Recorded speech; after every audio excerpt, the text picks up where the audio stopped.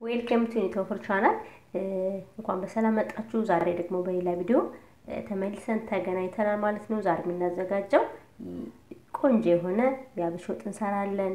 ለጤና ተስማሚ የሆነ በተለይ ደግሞ የሆድ ድርቀት ላለባችሁ ወይም ደግሞ የሆዳችሁን እየነፋችሁ ለሚያስቸግራችሁ በጣም ጥሩ መፍትሄ ነው።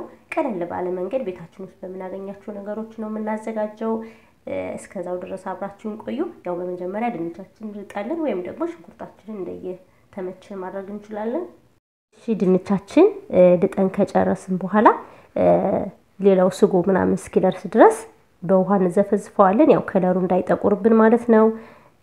በዚህ መልኩ ቀዝቀዝ ያለ ውሃ ብታደርጉበት ተመራጭ ነው። ከዛ በኋላ ደግሞ እዚህ ጋር ድስቴ ላይ አንድ አራት ራስ ሽንኩርት ከትፌ አዘጋጅቻለሁኝ። ያው ቪዲዮ እንዳይረዝም ብዬ ቪዲዮን ለማሳጠር ፈልጌ ነው እንደዚህ ቆረጥ ያደረግኩት። ከዛ በኋላ ትንሽ ሽንኩርቱ ውሃውን መጠጥ ካደረገ በኋላ ዘይት እንጨምራለን። ዘይት የአብሽ ወጥ በምንሰራበት ጊዜ ዘይት ይፈልጋለኝ። ስለዚህ ያው የፈለግነውን ያክል መጠን ዘይት እንጨምራለን።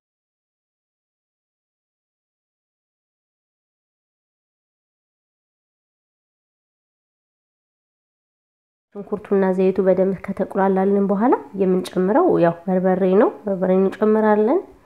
ከዛ በርበሬውም እንዳያቃጥል ትንሽ ከሽንኩርቱና ከዘይቱ ጋር የተወሰነ ደቂቃ ጥብስ እናደርገዋለን።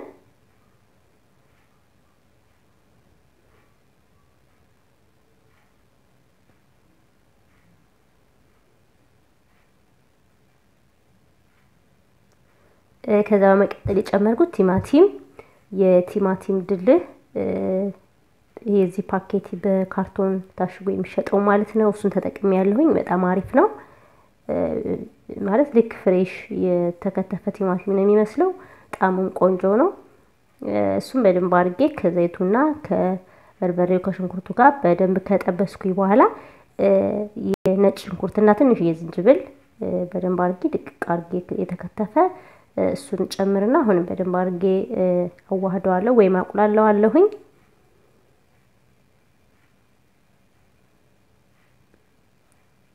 ከዛ ከተቁላላልኝ በኋላ የምጨምረው አብሽ ነው።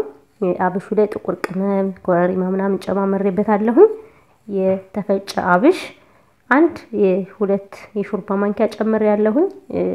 ለመጀመሪያችሁ ከሆነ ትንሽ አንድ የሾርባ ማንኪያ ጨምራችሁ እየለመዳችሁ ስትሄዱ ግን ያው ትጨምራላችሁ።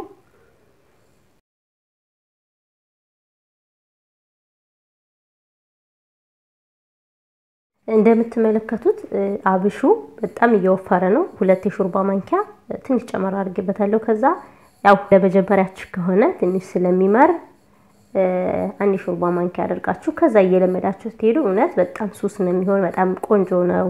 ከጤና አኳያ አሪፍ ነው። ተጠቀሙትና በማንኛውም ምግብ በሰራችሁ አጋጣሚ ትንሽ ጨመር ማድረግ ትችላላችሁ።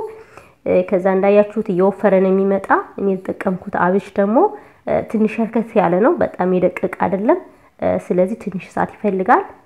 እያሻችሁት በመጣችሁ ቁጥር እየወፈረ እየወፈረ ስለሚሄድ የፈላ ውሃ በጎን አስቀምጣችሁ እሱን ጠብ እያደረጋችሁ በደንብ ስታሹት በጣም አሪፍ የሆነ ምርጥ የሆነ አብሽ ወጥ ይወጣላችኋል።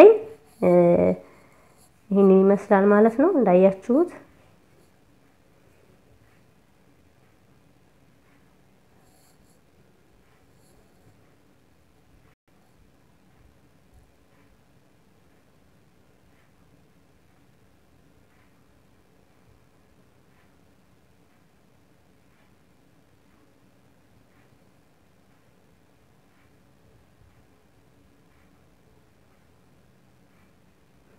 ከዛ አሁን የጨመርኩት ማጅ የአትክልት ማጅ ነበረኝና እሱን የአትክልት ማጅ አንድ ሁለት ፍሬ የሚሆን ተጠቀሙ።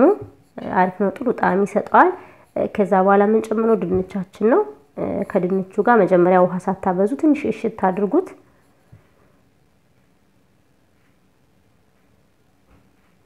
በተለይ እነዚህ ትናንሾቹ ቲማቲሞች በጣም ነው የሚጣፍጡት። ያው መክተፍ ምናምን አያስፈልግም፣ ላይንም ደስ እንዲል ደግሞ ልጆችን ካሏችሁ ደግሞ ለልጆች ጥሩ ነው እንደዚህ አድርጋችሁ ስታቀርቡላቸው።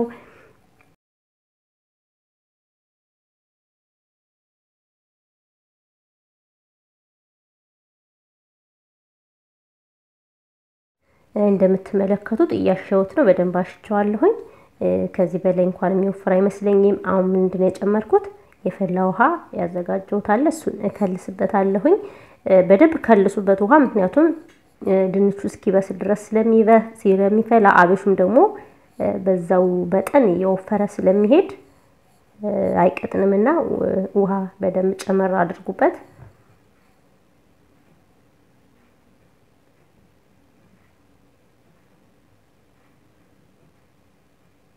ከዛ በዚህ መልኩ ፈልቷል፣ እየበሰለልን ነው። በጣም አሪፍ ነው፣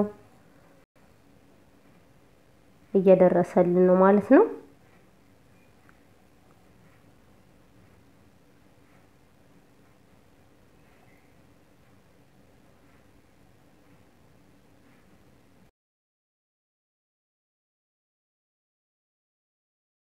ያው አሁን አብሻችን እየደረሰ ነው ማለት ነው። አሁን እዚህ ያዘጋጀሁት ቅቤ አለኝ እሱን እጠቀማለሁ፣ አድርግበታለሁ። ቅቤ በጣም ቆንጆ ነው ከአብሽ ጋር። በተለይ ይሄ የሚመራውን ክፍል ትንሽ የሆነ እንትን የማድረግ ባህሪ ስላለው ቅቤ ብትጠቀሙ ጥሩ ነው።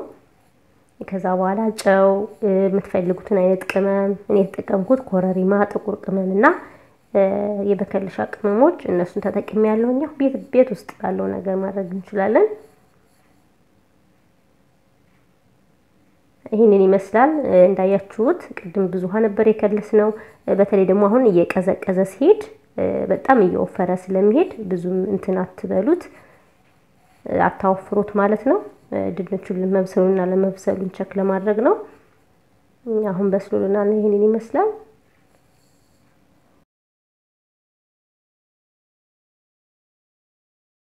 አሁን እሳቱን አጥፍቼዋለሁኝ ከዚህ በኋላ ማለት ነው። እንዳያችሁት ቆንጆና ብዙ ቀጭንም አይደለም ወፍራም አይደለም። ሲቀዘቅስ ደግሞ የወፈረ ይሄ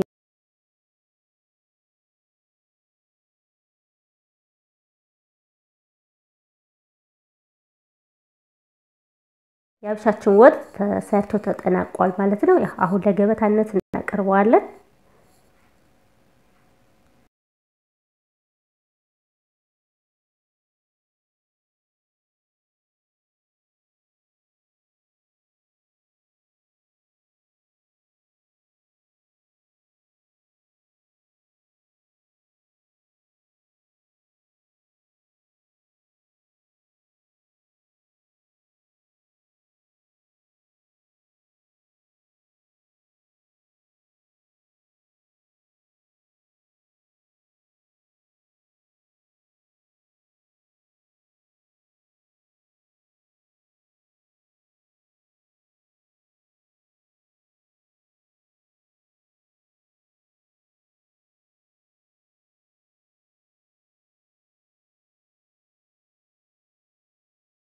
ተመልካቾቻችን የዛሬ የአብሽ ድንች ወጣችን ይህን ይመስል ነበር። እንደወደዳችሁ ተስፋ አድርጋለሁ። ያው በሌላ ቪዲዮ እስክንገናኝ ደግሞ ሰላም ሁኑ። ለዚህ ቻናል አዲስ ሆናችሁ ካላችሁ ቻናሌን subscribe አድርጋችሁ ቤተሰብ ሁኑ። በመቀጠል ደግሞ ቪዲዮን አይታችሁ ከወደዳችሁት like እና share ማድረጋችሁንም አትርሱ። በሚቀጥለው ቪዲዮ እስክንገናኝ እስከዛው ሰላም ሁኑ። bye